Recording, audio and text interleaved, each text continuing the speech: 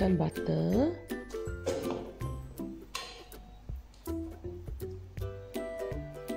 Masukkan gula halus. Kemudian pukul sehingga kembang. Masukkan telur satu persatu. Sehingga telur habis kemudian masukkan asam vanila satu sudu teh.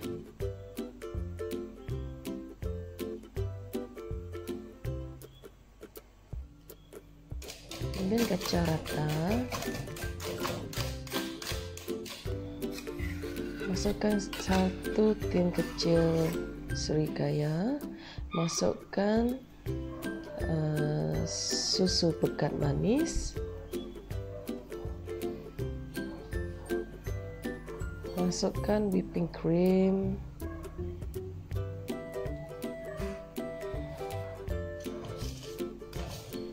Kacau sebati.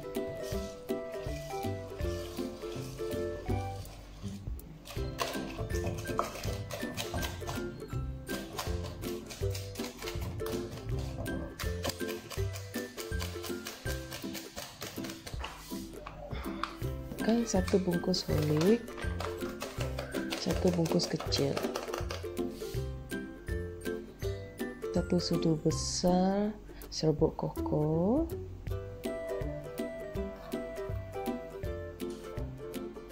kemudian satu sudu kecil Nescafe kita bancuh dulu dengan air sebelum masukkan ke dalam adunan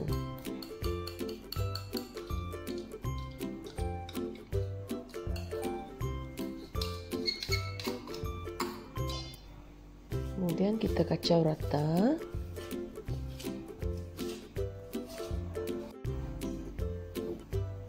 Okay, kemudian kita masukkan tepung gandum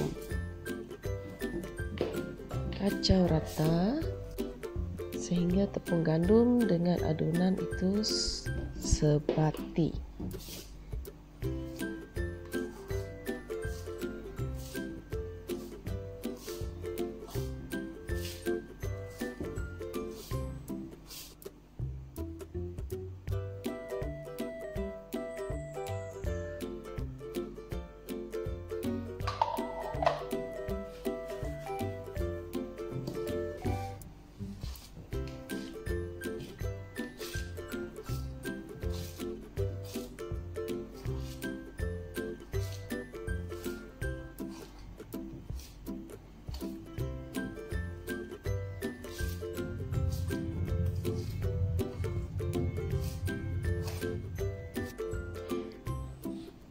masukkan browning sugar ataupun gula hitam satu bekas kecil itu ya ataupun sesuai dengan um, selera anda.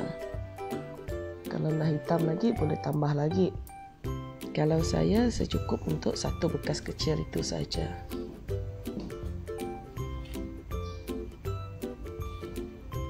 Kemudian sapukan loyang dengan butter. Kita gunakan berus semula jadi berusnya sudah rosak ya. Jadi kita tak dapat guna berus lepas sapu tu kita lapik dengan menggunakan kertas minyak.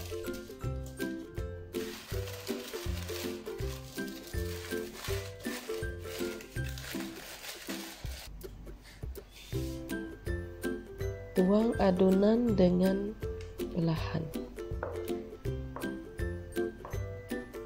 Okay, selepas itu kita perlu hentak-hentakkan adunan tersebut di dalam loyang untuk membuang angin. Okay, lepas itu kita lapik lagi dengan menggunakan aluminium foil untuk mengelakkan air kukusan menitis ke dalam kek kita. Lepas itu ikat lagi.